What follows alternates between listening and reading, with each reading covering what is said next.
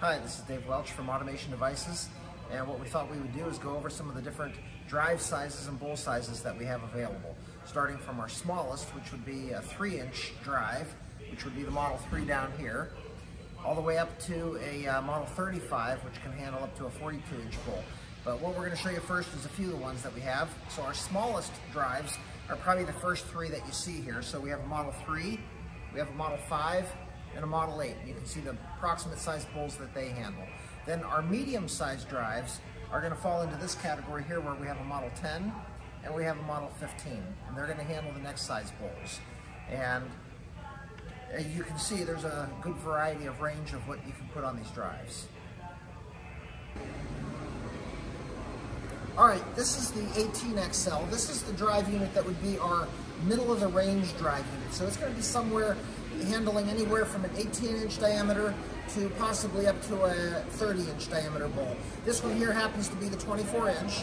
It's our cast aluminum, but we can certainly build it for any of the stainless bowls. But you can see it's a low profile drive. It does run on a full wave form, so it will be a smoother running drive if you need nice gentle part transfer.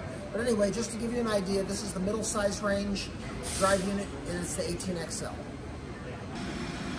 All right, what we also wanted to do is show you what some of our larger drive units look like and what they can handle. This one here is a Model 30, but what we have in our larger drive series would be a Model 25, a Model 30, and a Model 35. And the real differences are going to be what size bowls those can handle. So the range of bowls between the 25 up to the 35 is going to be anywhere from like a 30 inch bowl up to a 42 inch bowl. But you can see these are very, very large drives. They're very, very strong. So this is going to be when you've got a larger part, maybe say a five, six inch long part, something of a bigger size, where you'll need a bigger bowl and a much stronger drive. But this way we wanted to give you a perspective as to what these drives look like.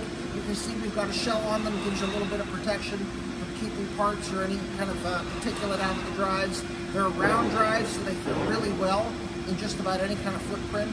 But anyway, this just gives you a basic idea of what the larger drives look like.